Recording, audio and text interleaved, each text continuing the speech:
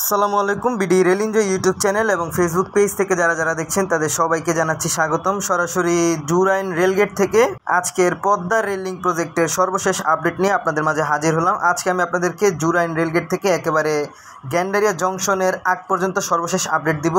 আপনারা ভিডিওটি পুরোপুরি দেখবেন। এখনও যারা যারা চ্যানেলটি সাবস্ক্রাইব করেননি, তারা অবশ্যই অবশ্যই চ্যানেলটি সাবস্ক্রাইব করে দিবেন। ভিডিওটি ভালো লেগে থাকলে অবশ্যই শেষে ভিডিওটিতে লাইক করে দিবেন। যারা ফেসবুক পেজ থেকে দেখছেন, তারা অবশ্যই ফেসবুক পেজটি ফলো করে দিবেন কমেন্টের মাধ্যমে জানাবেন ভিডিওটি কীরকম হলো। তাহলে সরাসরি এখন মূল আপডেটে চলে যাই। এখন আমি যে ডুয়েল গেজ রেলপট্টি দিয়ে হেঁটে যাচ্ছি, এটি প্রথম জুরাইনে বসানো হয়েছিল। পূর্বে এই অংশে ছিল জুরাইন রেলওয়ে বাজার, যখন ঢাকা সেকশনে ডুয়েল গেজ রেলপথ নির্মাণের কথা হয়। পাশাপাশি একটি ব্রড গেজ রেলপথ তৈরির কথা হয়। তখন এই রেলওয়ে বাজারটি উচ্ছেদ করা হয়। উচ্ছেদ করার পর যে মিটার গেজ রেলপথটি ছিল, সেই মিটার গেজ রেলপথটি কমলাপুরের শহরতলি প্ল্যাটফর্ম থেকে একেবারে জুরাইন গ্যাস পাইপ পর্যন্ত মিটার গেজ রেলপথটি তুলে ফেলা হয়। কমলাপুর থেকে জুরাইন গ্যাস পাইপ পর্যন্ত দীর্ঘ পাঁচ কিলোমিটার রেলপথ তুলে ফেলার কারণ হচ্ছে, ঢাকা থেকে পদ্মা সেতু হয়ে যশোর পর্যন্ত দীর্ঘ একশো বাহাত্তর কিলোমিটার রেলপথ তৈরি করছে চাইনিজ ঠিকাদারি প্রতিষ্ঠান। চায়না রেলওয়ে ইঞ্জিনিয়ার কর্পোরেশন বা সিআরইসি আর ঢাকা থেকে পদ্মা সেতু হয়ে যশোর পর্যন্ত যে রেলপথটি তৈরি করা হচ্ছে, সেটিকে বলা হয়ে থাকে পদ্মা রেল লিঙ্ক প্রজেক্ট। এই পদ্মা রেল লিঙ্ক প্রজেক্টের জন্যই কমলাপুর থেকে জুরাইন গ্যাস পাইপ পর্যন্ত পাঁচ কিলোমিটার মিটার গ্যাস রেলপথটি খুলে ফেলা হয়েছে। তার কারণ হচ্ছে যে ঠিকাদারি প্রতিষ্ঠান সিআরইসির আন্ডারে ঢাকা নারায়ণগঞ্জ সেকশনের এতটুকুর কাজ করা হয়েছে। পূর্বে ঢাকা থেকে নারায়ণগঞ্জ পর্যন্ত দীর্ঘ ষোলো কিলোমিটার রেলপথ তৈরি করার কথা ছিল। আরেকটি চাইনিজ ঠিকাদারি প্রতিষ্ঠান পাওয়ার চায়না পরবর্তীতে সিআরইসি সেই ষোলো কিলোমিটার থেকে পাঁচ কিলোমিটার রেলপথ তৈরি করার সিদ্ধান্ত নেয়। এখন সেই ধারাবাহিকতায় সেই পাঁচ কিলোমিটার রেলপথ বসানো কার্যক্রম একেবারে শেষের পর্যায়ে বলা চলে। আর এই পাঁচ কিলোমিটারের পর মানে জুরাইন গ্যাস পেপ থেকে পুনরায় সেই মিটার গেজ রেলপথেই ঢাকা থেকে নারায়ণগঞ্জ যাবে, নারায়ণগঞ্জ লোকাল ট্রেনটি। অনেকে কমেন্টের মাধ্যমে জিজ্ঞেস করে থাকেন যে কবে নাগাদ নারায়ণগঞ্জ লোকাল ট্রেনটি চালু হতে পারে, যেটির প্রশ্ন প্রতিদিনই আসছে আমার কমেন্টে। তাদের উদ্দেশ্য বলছি যে এখনও আমি তেমন কোনো আপডেট পাইনি যে কবে নাগাদ নারায়ণগঞ্জ লোকাল ট্রেনটি চলবে বা রেলওয়েও কোনো নোটিশ দেয়নি যে কবে নাগাদ নারায়ণগঞ্জ লোকাল ট্রেনটি চালু হতে পারে। তাই বলা অনিশ্চিত যে কবে নাগাদ নারায়ণগঞ্জ লোকাল ট্রেনটি চলবে, তাই সেটি নিয়ে এখন আমি বলতে পারছি না। গেল চার ডিসেম্বর দুই হাজার বাইশ থেকে ঢাকা নারায়ণগঞ্জ সেকশনে নারায়ণগঞ্জ লোকাল ট্রেনটি চলাচল বন্ধ রয়েছে। আর এই নারায়ণগঞ্জ লোকাল ট্রেনটি বন্ধ করার কারণ হচ্ছে পদ্মা রেলিং প্রজেক্টের আওতায় যে কমলাপুর ও গ্যান্ডারি রেল স্টেশন রয়েছে, সেটির বিদ্যমান মিটার গেজ রেলপথটি তুলে নতুন ডুয়েল গেজ রেলপথ নির্মাণ করা হবে। পাশাপাশি আরও দুইটি ডুয়েল গেজ রেলপথ নির্মাণ করা হবে। মোট তিনটি হবে ডুয়েল গেজ রেলপথ।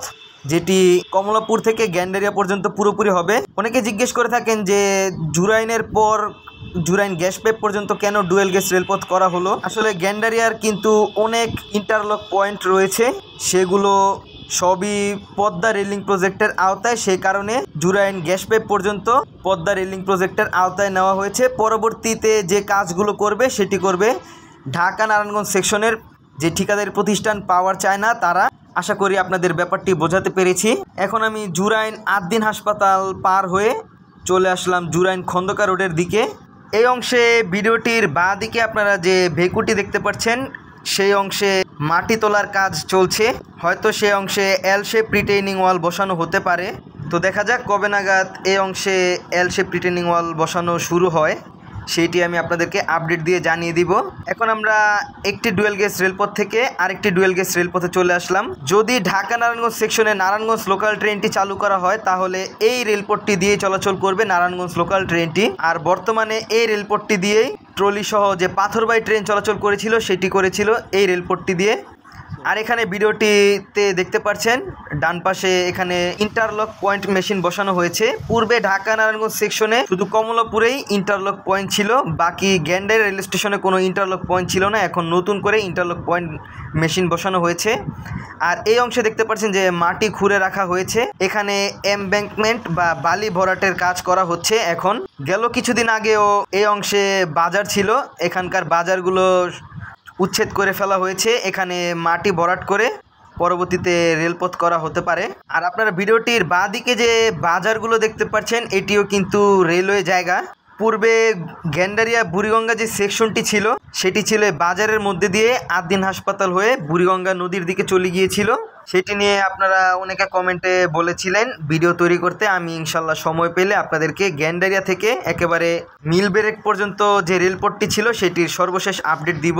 আপনারা সেই ভিডিওটি দেখতে অবশ্যই আমার চ্যানেলটি সাবস্ক্রাইব করে রাখবেন। এই অংশে গেল কিছুদিন আগেও আমি আপনাদেরকে আপডেট দিয়েছিলাম, যেখানে মাটি খোঁড়ার কাজ করা হচ্ছিল, তখনও আমি আপনাদেরকে এই অংশে রেলপথ দেখিয়েছিলাম যে এখানে পূর্বে রেলপথ ছিল যেটি গ্যান্ডারিয়া থেকে বুড়িগঙ্গা নদীর তীরে বা মিল ব্রেকের দিকে যেত। চলুন আমরা এখন ধীরে ধীরে আরও সামনের দিকে এগিয়ে যাই। এখানে আপনারা দেখতে পাচ্ছেন যে মাটি খোঁড়ার পর এখানে বালি ফেলা হয়েছে। আর এই বালিগুলো পর্যায়ক্রমে ফেলার কাজ করা হচ্ছে। এই অংশে বালি ফেলে পরবর্তীতে রোড রোলারের মাধ্যমে এগুলোকে বালিগুলো সমান করে সেই স্থানে বসানোর কাজ করা হচ্ছে। আসছে সেপ্টেম্বরে, চালু হতে পারে। ঢাকা থেকে পদ্মা সেতু হয়ে বাংলা পর্যন্ত রেলপথ। তো সেই লক্ষ্যে এগিয়ে চলছে জুরাইনের এই অংশের কাজ। আমি এখন যে অংশটি দিয়ে হেঁটে যাচ্ছি, এই অংশে ভবিষ্যতে আরেকটি রেলপথ হবে, সেটি হবে ডুয়েল গেস রেলপথ। ডুয়েল গেস রেলপথ থেকে ব্রড গেস রেলপথে কনভার্ট হবে জুরাইন আলমবাগ অংশে গিয়ে। এই জুরাইন আলমবাগের পর থেকে গ্যান্ডারি হয়ে কমলাপুর পর্যন্ত যে কয়টি রেলপথ থাকবে, সবগুলোই থাকবে ডুয়েল গেজ রেলপথ। ভবিষ্যতে এই অংশেও সীমানা প্রাচীর নির্মাণ করার কাজ করা হবে। অলরেডি ভিডিওটির ডান দিকে সীমানা প্রাচীর নির্মাণ করার কাজ এগিয়ে চলছে দুর্বার গতিতে। আপনাদেরকে এখন দেখাবো।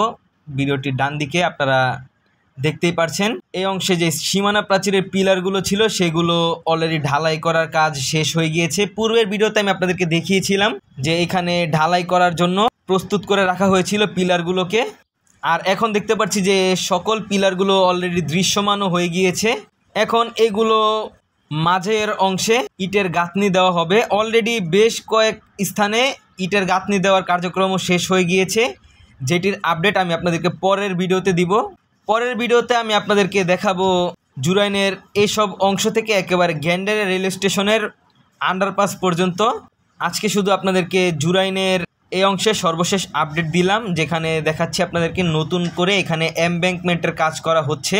এই ছিল জুরাইন রেলগেট থেকে জুরাইন খন্দকার রোড পর্যন্ত ছোট্ট একটি নতুন আপডেট।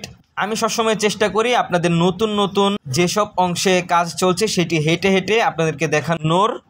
ভিডিওটি ভালো লেগে থাকলে অবশ্যই অবশ্যই চ্যানেলটি সাবস্ক্রাইব করবেন, ভিডিওটিতে লাইক করে দিবেন, কমেন্টের মাধ্যমে জানাবেন ভিডিওটি কীরকম হলো। যারা যারা আমার সাবস্ক্রাইবার রয়েছেন, তাদের প্রতি অনুরোধ থাকবে, আমার ফেসবুক পেজটি আপনারা ফলো করে দিবেন, যেটির লিংক আমার ভিডিও ডিসক্রিপশনে রয়েছে। পাশাপাশি আমি আরেকটি চ্যানেলের লিঙ্কও দিয়ে রেখেছি, সেটিও আমার নিজস্ব চ্যানেল সেটিকে সাবস্ক্রাইব করার জন্য অনুরোধ করা হইল। দেখা হচ্ছে অন্য কোনো নতুন ভিডিওতে সে পর্যন্ত সকলে ভালো থাকবেন, সুস্থ থাকবেন, আল্লাহ হাফেজ।